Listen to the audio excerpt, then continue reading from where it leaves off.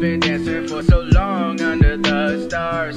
I feel that's the Hey guys, it's Aaliya. Welcome, welcome back to my YouTube channel. Today I'm back here with another video and today I'm to be telling you guys the meaning of brevity. It's spelled as B-R-E-V-I-T-Y. So brevity means uh, something that should be short in text or in speech. So maybe you have the speech that you have written it, but the people are telling you that it must be a lot in the form of brevity, meaning it must be short and must be something that attracts the audience. Maybe the audience should not get bored out of, from long speeches. So something like that. No one likes long speeches, do they? So it must be in the form of brevity, something super duper short and something super duper useful. That's all for today's video, guys. See you guys next time. You guys so, so much. Keep supporting. Bye.